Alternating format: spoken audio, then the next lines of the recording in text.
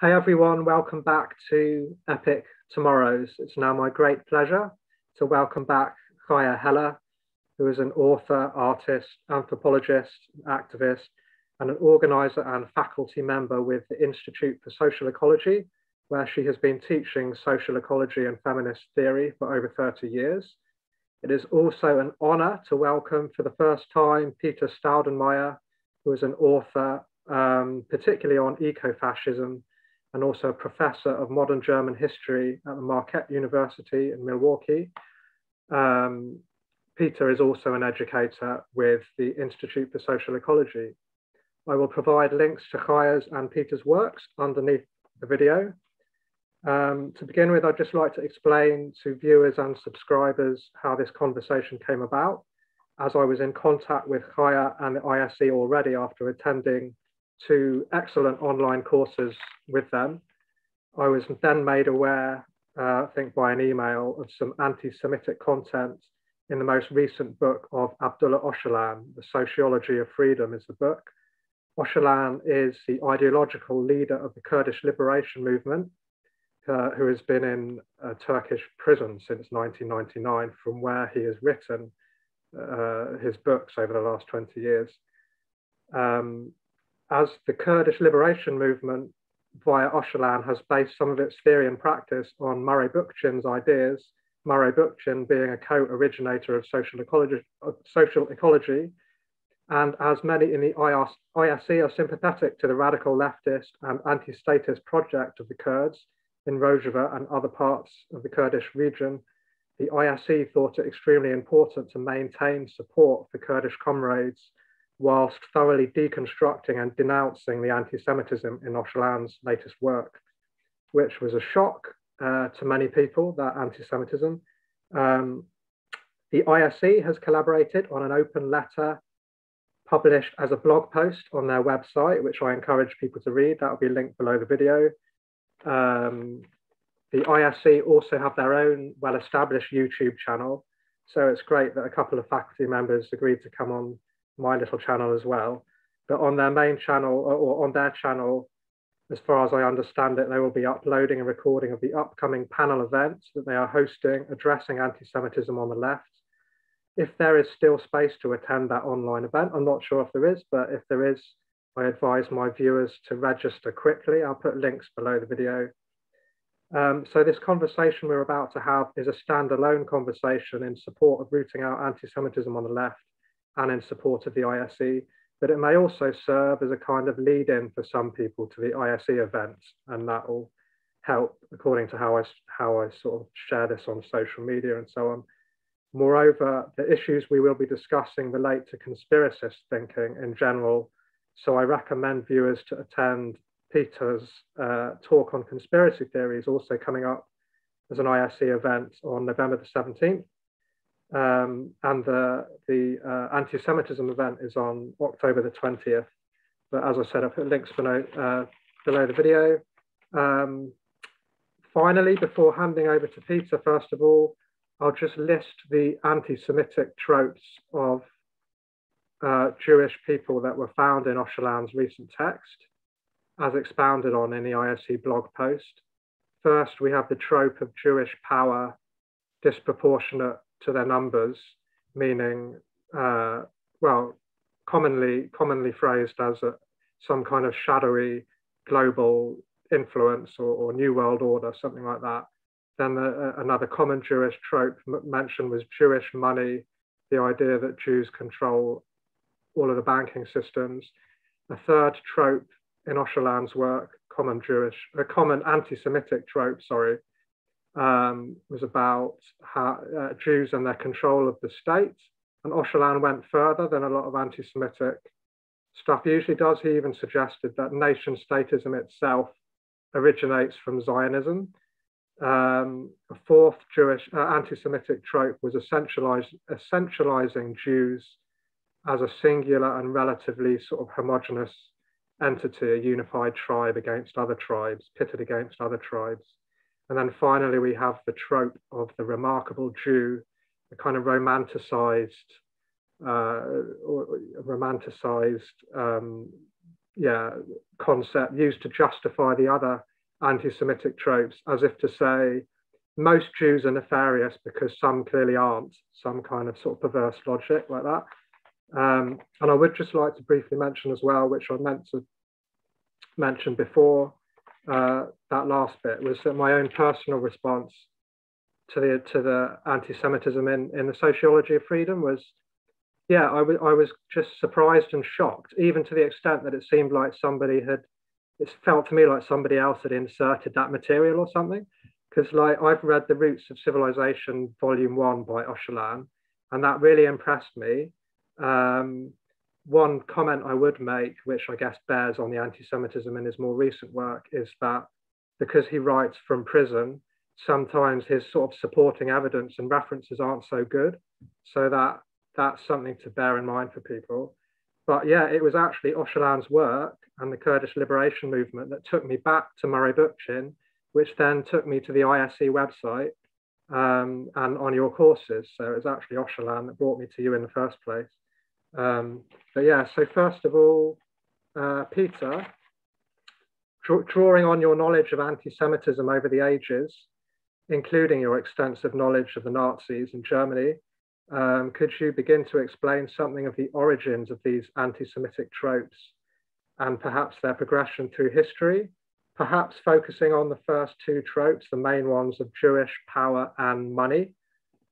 Um, you can, you know, talk for as long as you want, please. Very good. Thank you, Matthew. Thank you for having us. I think I'll mostly address the, the second one, if that's okay. The, the first one, the one about power, is the that, that's the founding myth of modern anti-Semitism as such. It takes so many disparate forms that it's it's kind of hard to wrap your head around. You, you don't know where to start your critique. And in some ways, the, the second one, that association of, uh, of Jews with money, that's maybe an easier place to begin to reconstruct a, a critical account. How, where did these ideas come from? How did they manage to find their way into this guy's work, into this, this book, which is, as far as I know, his most recent book length publication in English translation. They don't always get translated in, in order. And Matthew, you noted that it, it, it seemed to a lot of us like a shock to find some of that content in the book that was just published in English last year. And I, I understand that. At the same time, I have to say it shouldn't be all that shocking. And the reason is this the association between Jews and money has been, unfortunately, has been a standard part of left thought for a century and a half now, often critiqued, thankfully, but always present. It's like it's always there in the background. And I mean that across different left traditions. I happen to come from an anarchist background myself. It's true for a lot of anarchists. It's true for a lot of different versions of Marxism. It's it is an unfortunate but historically pretty consistent and pretty persistent element within left thinking in general.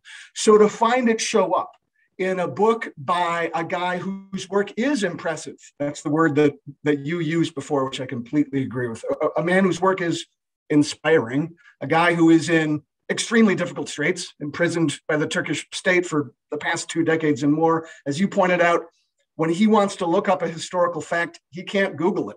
He can't go to the library down the street and take out a few books on it. So, keeping all that in mind, it's maybe not as shocking as we might think to see some of these myths, and that's what they are. These are these are anti-Semitic myths, but they're ones that have a a lengthy history, going back at the very least into the 19th century. In some cases, you could trace them even uh, further back.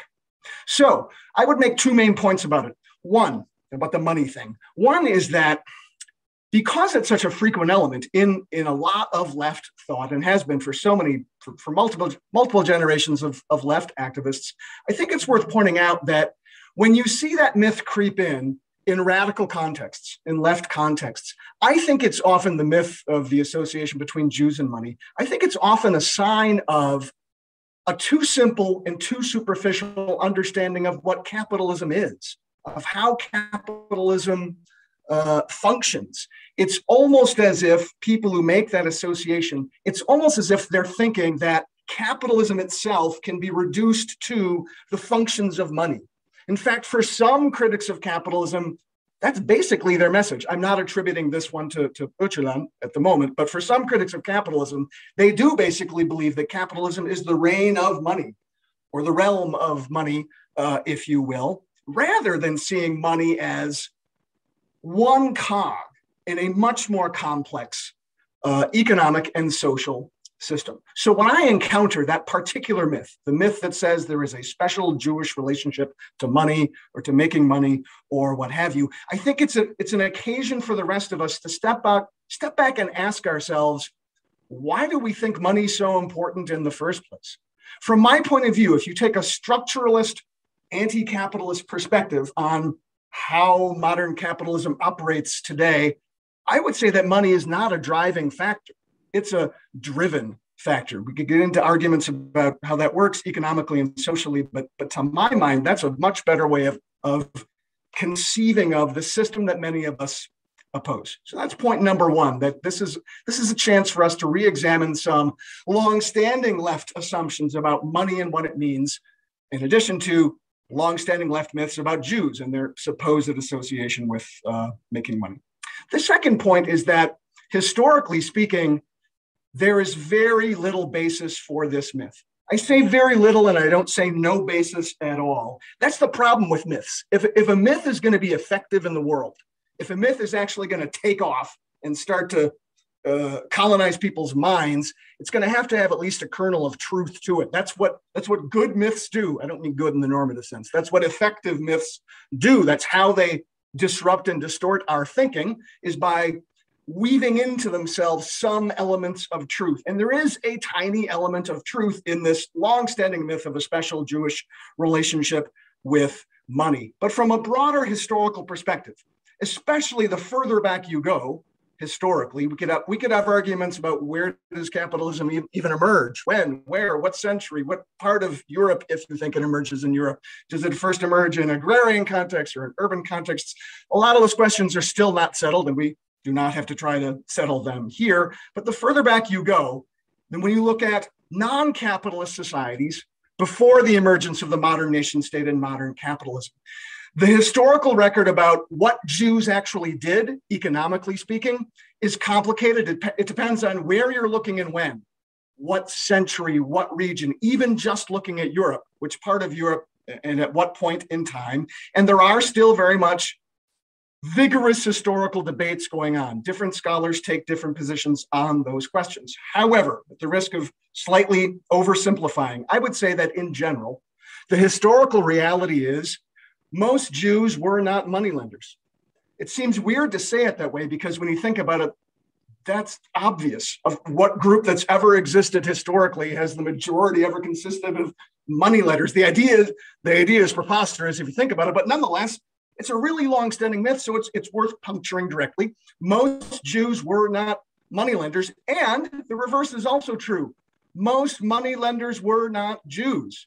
Doesn't matter where you're looking, how far back historically you go, even in periods where money lending was not all that important historically, it was never a Jewish uh, specialty, so to speak. Secondly, most Jews were not merchants, and most merchants were not Jews bears, it's good for us to remind ourselves of that historically. Jews were not central, even, even just if we look at the medieval era, Jews were not central to medieval commerce or medieval finance. Jews were not central to early modern commerce or early modern finance. What it comes down to is this Jews were not pioneers of capitalism. That is a, I admit, that is a widespread belief. It's a belief that is held by supporters of capitalism and critics of capitalism. It's a belief that is held by Jews and by non Jews. It's held by rightists, by leftists, by centrists.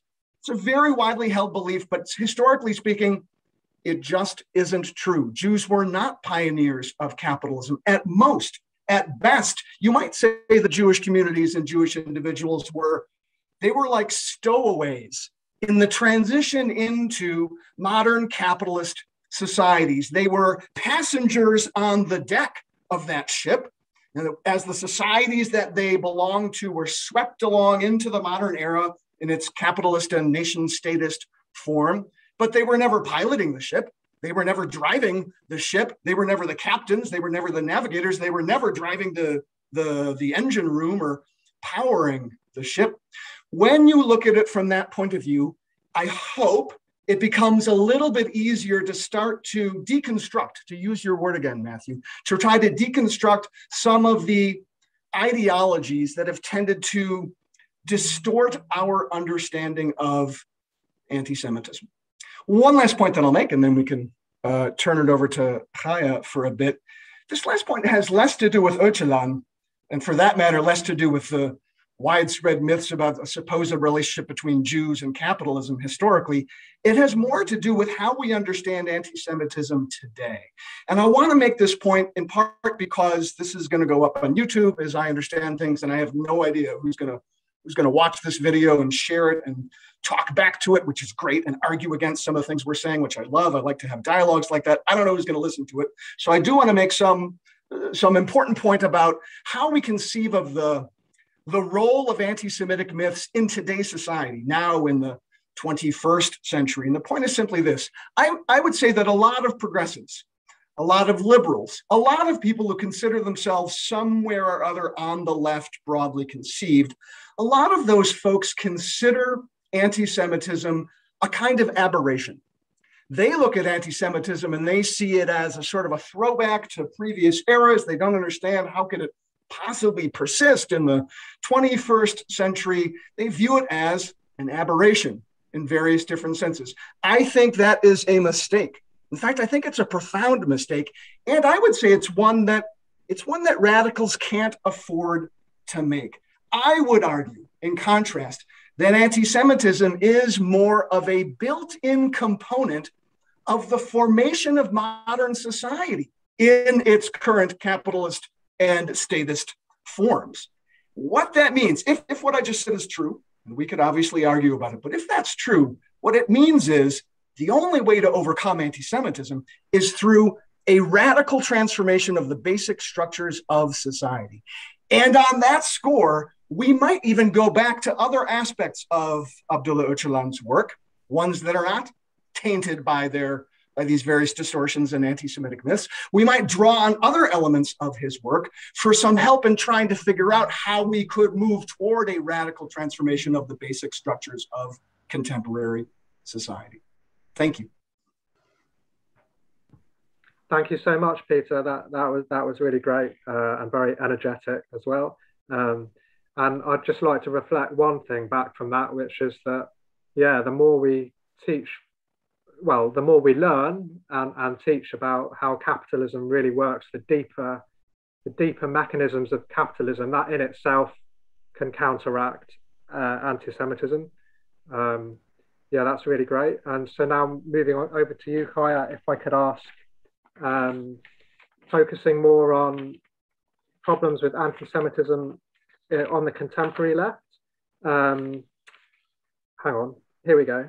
Could you talk about your impressions of anti-Semitism on the contemporary left, including, it could include Öcalan's recent work, but also I know you mentioned uh, in an email, you could perhaps speak to the recent scandal surrounding, well, in recent years, um, anti-Semitism in the UK Labour Party and how that was dealt with, um, or anything else you want to bring up. And also I wanted to add, um, why, or do you think anti-Semitism is not I think Peter's already kind of answered this, but well, let me put it like this: Why isn't anti-Semitism taken as seriously as anti-black racism and other forms of racism? Why is it not taken as seriously? Thank you so much, and I just want to say thank you to you, Matthew, for creating this space. It's really generous of you and important. Um, and thank you, Peter, for your your always thoughtful and energizing comments. Um, so there's sort of, I could sort of unpack two pieces. One is, you know, a recent case or a current case. That's, you know, the case of Öcalan's writings about Jews. And um, also, why isn't anti-Semitism prioritized, generally speaking, um, by leftist movements? And I'll sort of take them um, one at a time. First of all, I think that the case of Öcalan, to me, was not when I, when I started reading the words, I wasn't actually surprised um, that this man wrote those words. Because I've been aware that the, the Turkish left, where Öcalan was raised as a you know young person and went to university and was you know that the culture of the Turkish left is very anti-Semitic because there's a lot of very open, explicit anti-Semitic um, thinking that's part of the culture, um, not just in Turkey, but in many parts of the world where it's not considered taboo. So when Öcalan was writing and, and, and thinking about power and coming of age as a leftist, it wasn't taboo to talk about Jews in this way. It wasn't taboo to write about Jews in this way and to attribute to Jews, you know, some of the evils and um, ills that come with modernity, such as capitalism or nation state. So I wasn't surprised by that. To me, what's been really challenging and difficult as a leftist is kind of looking at sort of the network of people, places, and things surrounding Öcalan's text. If you take, you know, his pages of Jewish, he calls it Jewish ideology. Um, and just the idea there is a, he believes he's, he's positing a singular Jewish ideology as a thing that needs to be, he says many times, this is an important thing that must be addressed. The left, if the left doesn't address it, we'll never achieve our goals. We have to address Jewish ideology. Um, so if you believe, so him believing that is, is not surprising. What's surprising to me is that he wrote these words um, they've been around at least for about 13 years. Um, I think the translation might have improved a bit over being going through a few different translators. But these ideas he's been holding for, um, and I've from talking to, to um, historians who are such as Corry Guttstadt, um, this is part of the way that he's been writing about Jewish people for decades. This is not new. It's not about not having access to um, you know, citations and good references in prison because he's not stating historical facts. There are a few times where he does, and it's very obviously wrong. He's putting out conspiracy theories that are not facts you can go fact check in a library. He's making sweeping, broad sweeping comments that are not, again, something you, oh shoot, should I like go and, and find out if that broad sweeping comment, you know. So conspiracy theories really aren't fact checked it's not what they're there, you know, people don't do that with that kind of material. So again, I wasn't surprised by the text, but you know, for a text to have life, somebody, and if it's written, say in, in Turkish, it has to have a translator who decides this is an important text to translate, and then has to have somebody who's going to publish it, the, the translated text, and then it has to have people that are going to promote the text itself, and then it has to have people who's going, who are going to defend that text. And those are the things that have been very um, troubling to me. Um, is that the person, you know, the, Kurdish leader who who did translate this text, you could say, you know, why why didn't they take that out of the, the book? And they could have chosen to take it out or leave it, but the fact that they left it in as is um, without any kind of caveat or anything is you know a really significant decision to do that to decide i'm going to translate i'm going to promote it. Um, and then an american press lefty press decided to publish this without any kind of caveat or discussion. Um, but then when jewish people and allies um, scholars of anti-semitism came to Kurdish leadership to talk about how did this happen, instead of the translators or the leaders saying, my goodness, we have to really rethink this, um, they said, there's no anti Semitism here. Um, I, they said, literally, the quote is, I will not accept this.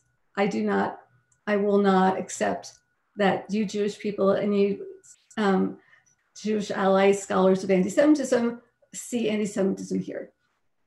And what's really amazing about this, it was a really incredible experience for me to have two very long dialogues, two two hour dialogues with people who care a lot about the integrity of Öcalan's legacy. Um, to watch them really defend his anti-Semitic writing as accurate um, which means they agree with the anti Semitic things he's saying. So it means that they hold the same anti Semitic views. And what was more troubling even than that is that they actively tried to suppress and wanted to, they did whatever they could to get, to try to persuade people not to make a public, um, to, to address the anti Semitism in any public way. And that has been very troubling and it's an ongoing problem. And so that leads me to my next issue around how leftists deal with anti Semitism when it emerges in movements is that um, what happened around the, the text is exactly what I've seen happen over and over again, where you have people say, oh my goodness, here's a real instance of, it could be more flagrant. I mean, I, I haven't seen one human being, Jewish or not Jewish, read these pages and not say, whoa, this is really, really flagrantly anti-Semitic. Um, I've never seen that happen where people don't step back and say, okay, we need to fix this. But instead, they actually went forward to say, please, now we have leftists saying to other leftists, don't, don't address this publicly. Don't address anti Semitism publicly in our movements. And what happens in these cases is that it's very sad. Um, that Jews in organizations are pitted against each other. People who worked together for 30, 40 years now are on either sides of a divide that's just so ugly, where some Jews are saying we have responsibility to address all forms of racism, and anti Semitism is really an important form of racism to address. And then you have other Jews saying, no, if we address this, we're going to destroy the Kurdish liberation movement. One, and two, it's going to make anti-Semitism worse. And you know that is something that non-Jews don't often hear, but that Jews say to each other. So during this period of seven, eight months, I've been sort of thinking about this text and the reaction to the text. I've had so many different Jewish people say to me, these are Jewish leftists who I respect and admire. Chaia, this will make anti Semitism worse. It's going to make the situation for Jews all over the world worse if we become visible and public and we agitate and we draw attention to ourselves, it's going to make people kind of hate us more. So that is very, it's a very painful reality. And it's one that I've seen since my sort of entree into the left in my early 20s, when at 21, is we can't ever address anti-Semitism as leftists movements, either because one will destroy the movement, whatever it is, will it'll, it'll flatten it. It'll divide people so much. It'll it'll it'll harm people's reputations. It'll be terrible. So that's the one. And two, it's going to make anti-Semitism worse. And as long as the left has those kinds of ideas, we're you know in big trouble. And I'll just say, you know, when I was in my late 20s, I was part of the um, Left Green Network. And I was part of a group of people, small group of people um, that were so excited to have a very prominent leftist um, intellectual who's going to be part of our left green um, journal. He's going to be one of the editors. We had a weekend meeting. And during that meeting, he kind of let it rip. And a lot of what he said is exactly almost to the letter of what Öcalan wrote here. Like, I'm really not exaggerating. It's like literally, it's the same narrative. And we were after this, you know, hearing all of this, my group of left green folks sat together and we talked about what we do. And what was decided was we can't make this public. We can't confront this person. We can't in any way address this publicly because it'll destroy the green movement. It'll destroy the left green network. And again, the same thing, is going to bring more violence or, or more negativity or more um, hostility towards Jews. We're going to make anti-Semitism worse. So here I am in my early 20s, you know, experiencing this. And towards, you know, now I'm in my going to next year, my sixth decade of life. And there has been, I mean, I, I to say there's been no progress is an understatement. Um, it's actually gotten worse, I would say. So this case to me isn't just about Öcalan, it's about a snapshot of where the left is at regarding anti Semitism and how terrified Jews are of being are of publicly taking a stand against it, um, because they know it'll come at great cost to their credibility as leftists, and they don't want to risk the reputations that they've worked on building for so many years, and they don't want to risk their their you know upstanding kind of place in the movement you know for like i'm not going to risk what i built up and my reputation for this issue that's not even so important thank you thank you so much Chaia. i just want to say a couple of brief points and then hand back over to peter um, um, yeah that, that was very very uh, educating for me. Like, um, I guess I was quite naive about Öcalan's potential motivations, I, and, I, and I didn't know about the culture of, of where he sort of grew up so much or went to university. Um, and also, it's very moving. Your, your, your, your, um, as you spoke, there's clearly a lot of emotion in there, and, and yeah, I feel for you that you've you've had to deal with these difficult conversations. Um, but I wanted to make a couple of points that the Kurdish liberation movement, um, particularly the feminist wing, as I understand it, as I've learned, is supposed to pride itself on self reflection and self critique. Um, so, you know, if they can't deal with this, then there's, there's a, there's, yeah, that's a real, that doesn't align, that doesn't align with the supposed sort of rigorous self critique. And the other, and the other point, yeah. the other point I'd make is, um, without wanting to dismiss uh, people's fear, which is understandable. But I would suggest that if a green movement can't handle this, or, any movement can't, leftist movement can't handle these conversations in the open, then if the movement will be blown apart or whatever, then the movement isn't strong enough, is it? Exactly. So it needs to be the movement needs to be be strong enough to deal with that kind of and that's a that's a bad reflection on on whatever the movement is or, or, work needs to be done there. I have to say, uh, it's true that Chaia and I and other people who have been involved in this over the past year now, which is crazy that it's taken that long, we disagree on on some of the details. But I have to say, I agree, sadly, with Chaia's uh, brief portrait of the attempts at dialogue with people who are closer to Abdullah Öcalan with some of his editors and translators, including people in that small group, including people I really respect, people I've, I've known in the movement for a, a long time. That was a really difficult uh, and disappointing process. And I want to offer a partial, it's not even an explanation. I want, I want to throw something out there that might help make a little bit more sense of why we seem to hit this stone wall in this particular case, where a group of otherwise extremely smart, extremely perceptive people basically crossed their arms and said, nope, not a not a hint of anti-Semitism anywhere in this text. Part of the problem there might come down to a seemingly simple question. That is, what do we even mean by anti-Semitism? What is anti-Semitism in the first place. And Matthew, you mentioned at the beginning that part part of what I focus on uh, as a historian is the Nazi period. That's absolutely true. A lot of my research is on Nazi Germany and fascist Italy.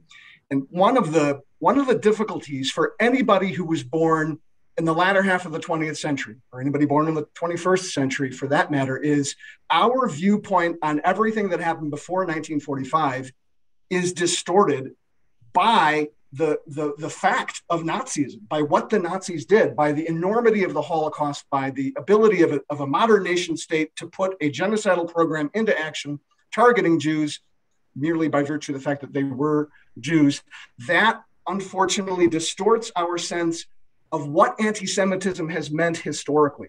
The Nazis were not, not, not, not a good standard or, or an average example of anti Semitism. Nazi anti Semitism was highly unusual in historical terms. If we take Nazism to be, or if we take genocide to be the central component of what it means to be an anti Semite, if we did that, we would be letting generation after generation of actual anti Semites off the hook, including the people who coined the term anti Semitism in the first place. The, the word anti Semitism was coined by anti Semites themselves in Germany in the latter half of the 19th century. They did not, they didn't even envision genocide. They hadn't gotten there, so to speak, in their thinking. They believed in various forms of exclusion, various forms of discrimination, various forms of persecution, but they certainly did not have a plan for killing millions of people. If you have that more, if you have that broader historical conception of anti Semitism in mind, what it effectively boils down to is this anti Semitic beliefs are founded on the notion of Jewish responsibility for negative aspects of social reality. And I say that so generally because it's crucial for understanding how flexible anti Semitism is. Negative aspects of social reality can be virtually anything at all. There have been anti Semites who blamed communism on Jews. There have been anti Semites who blamed capitalism on Jews. You can blame almost anything that you don't like in the existing social world. You can somehow pin it to some kind of Jewish responsibility or a Jewish ideology, to use the term that shows up in Öcalan's Sociology of Freedom. To my way of thinking, for a lot of scholars who study the history of anti Semitism, that's the basic impetus behind anti Semitic beliefs. They do not have to involve active killing of anyone at all. The, the underlying notion is when something goes bad in the social world, pin the responsibility for it on some supposedly Jewish force. So if that's true, it means we have an opportunity here with this, with the, uh, the public discussion and debate about the passages in Öcalan's book.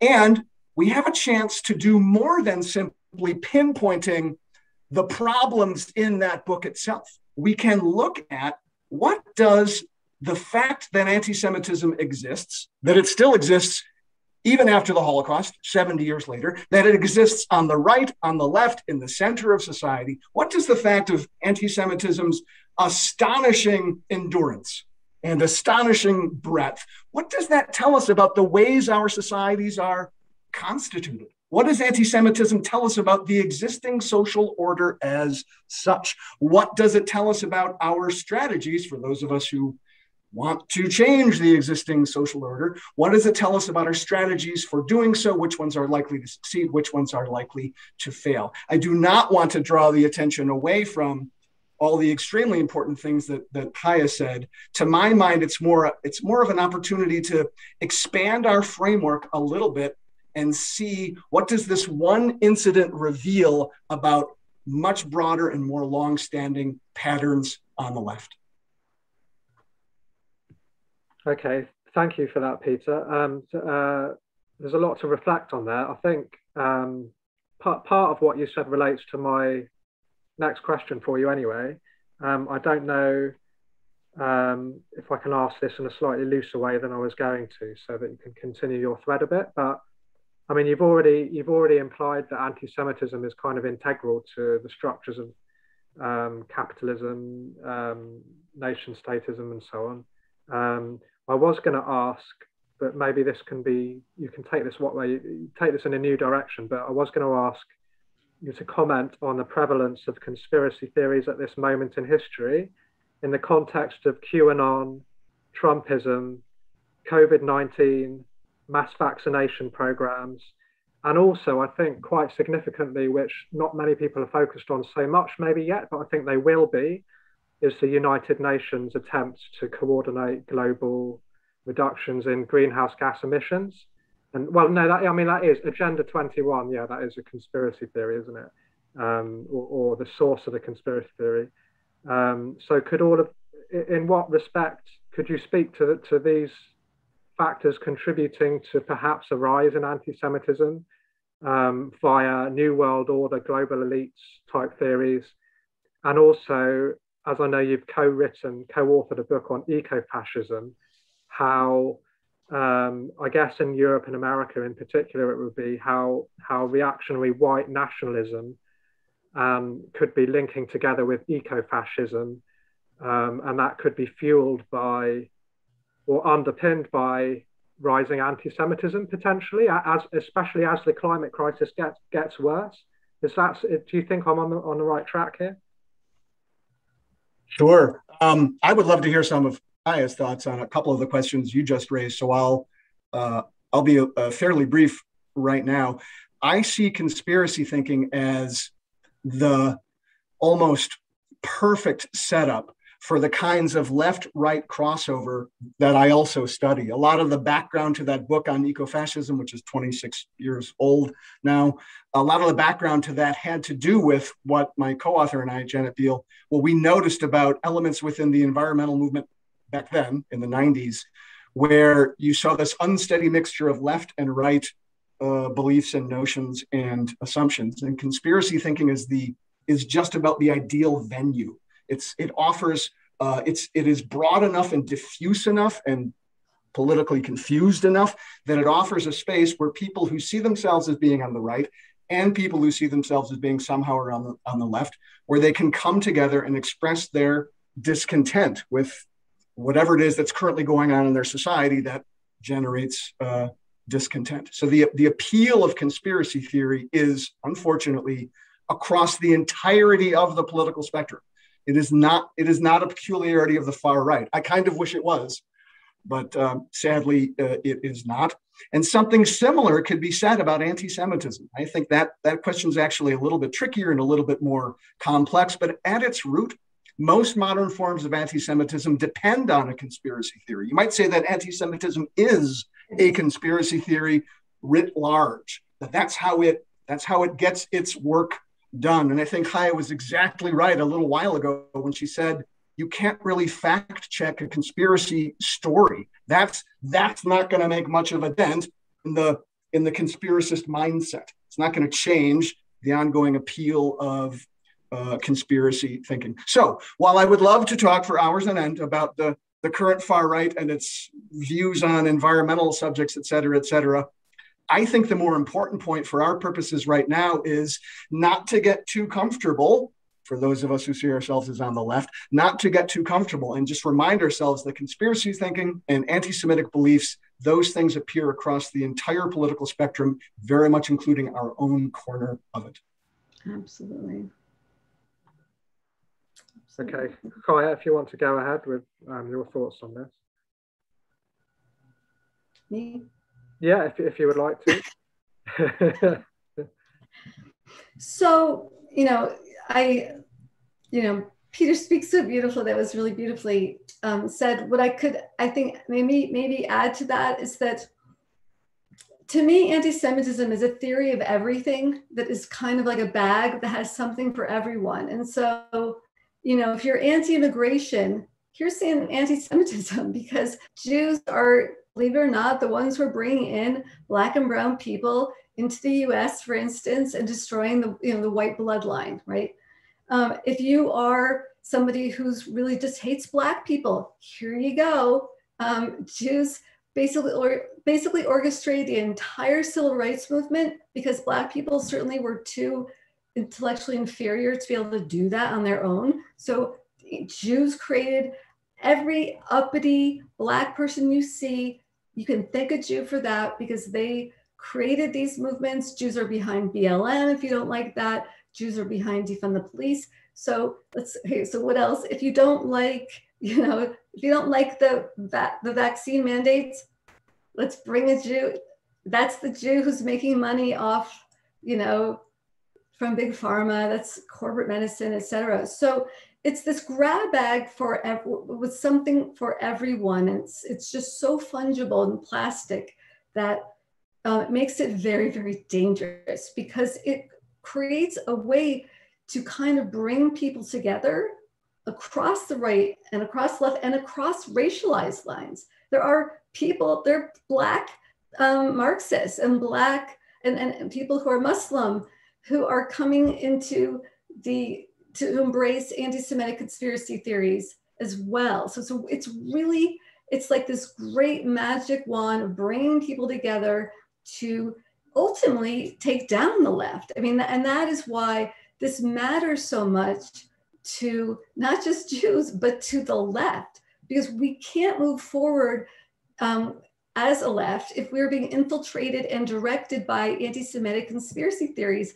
that undermine our abilities to really understand how power really is working and what is really driving immigration and what's really driving the climate crisis and what's really, you know, we can't understand how we got here and where to go if we're relying on these conspiratorial theories that scapegoat chooses the power that you know, is behind everything.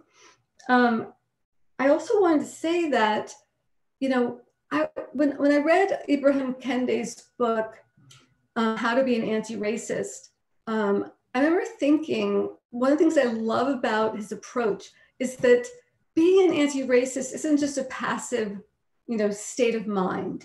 It's not just, well, I'm not a racist. I don't have racist thoughts. It's that it's an active um, pursuit of one's curiosity about history, right? So to be anti-racist, if you're living in the US, a post-slavery society, it means becoming very actively um, involved as a researcher to understand the history of slavery in this country and Jim Crow. And, you know, that's on everybody in this, you know, in this country to understand this history of how we got to the mess, you know, last summer with George Floyd and all the George Floyds before George Floyd. So I love that he says you you know it's not just a passive state of mind; it's an active, it's an activity. And to me, for the left to become a fully anti-racist movement, it has to embrace anti-Jewish racism. And you know, I don't use the word anti-Semitism all that much anymore because the term was fabricated by somebody to make anti-Jew hate or, or Jew hate sound more social scientific there are no Semite people.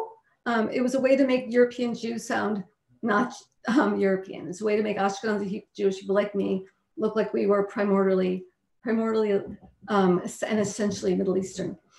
Um, when Jews have been in Europe for 2,000 years. Um, so I feel like for the left to really say we're, we're, we're, we're going to go full stop for an anti-racist kind of program, we have to include anti-Jewish racism, which is an early one of the earliest forms of racism, where you take a group of people and see them as sharing a biological essence, genes, you know, that's been the same throughout time across the globe.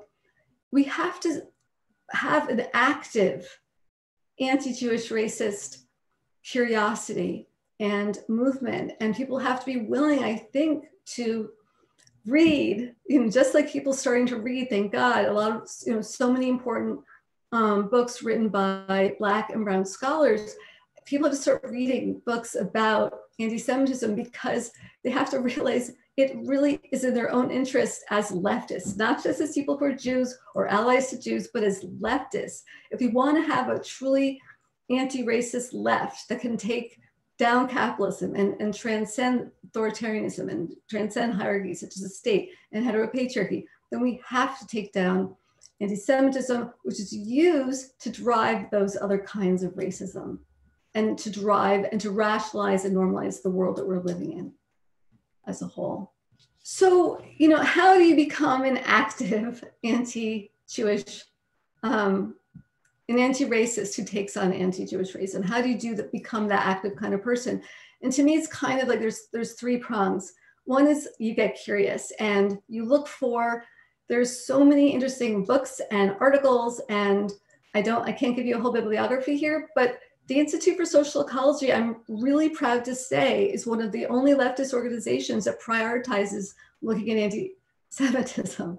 So you could take Peter um, and Blair Taylor's Understanding Anti-Semitism class. You can come to the ISE and ask for, I think we're gonna put together, definitely after this panel, a reading list. You can also get together with people and create a study group and create a little syllabus. And that could include watching some really interesting documentaries together. Um, also, you could invite speakers from the ISE or other speakers or people who are actively fighting anti-Semitism to come speak to your group. We have Zoom technology that we're getting more comfortable with now. The study group from anywhere in the world could ask somebody from ISE or from anywhere to come and sit with them um, in their group to talk about this. And the last thing is that if you're again, if you if you and you as an individual or as an organization, you have a commitment to being anti-racist, always make sure that anti-Jewish racism is on the agenda. And when it's not, ask why it's not and ask people to be curious about why it's not. And it might not be, it's probably not malicious or intentional at all. And that's precisely the point. it's that we're trying to raise consciousness of why it's important. So if it's not there, it's because people don't understand why it's important. And so that's like a main thing for myself. It's like, okay, how to really get people to get this needs to always be part of the anti-racist agenda on the left. Okay, thank you. Yeah, no, I'm really glad. I'm really glad that you you, you added that practical um, sort of end section. And um, so, uh, it, along the same lines, Peter, have you got any ideas on sort of practical ways moving forward? Sure. Mine are, mine are brief. They, they are sub points to uh, addenda to the beautiful things that Chaia just said. The first one I, I would recommend is for people doing this kind of self reflection, uh, collective self education through study groups or whatever other format, what I would recommend is try to pay attention to the ways in which anti Semitic beliefs are uncannily able to mimic radical ideas. That's one of the um, that's one of the most important aspects of modern anti-Semitism as as a worldview, as a belief system, as a mindset, is its ability to look like it's doing the same things as radical critiques of capitalism, of the nation state, of what have you. I, I would ask people to pay attention to how does that work? How, how do they pull that off? How, how does anti Semitism pull that off? And in that spirit, I'm going to read you just a one sentence quote, a very brief quote from a guy named Moishe Postone, who passed away a few years ago, very important scholar of and historian of uh, anti Semitism, among other things.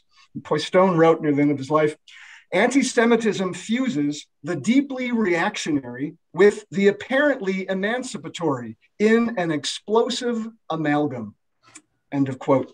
I think he's onto something there. Anti Semitism has this ability to bring left wing and right wing beliefs together in an especially dangerous way. So, when we're doing the kind of education, self reflection, learning, and curiosity that, that Chaia is talking about, try to make that part of the task. And the last point I would say is, is a very uh, seemingly very simple one, a very straightforward one. I am going to I'm going to go out on a limb and guess that at least some of the people who end up viewing these video clips, that some of those people have probably had the unpleasant experience in their own life of having been accused of anti Semitism, and they think the accusation is wrong.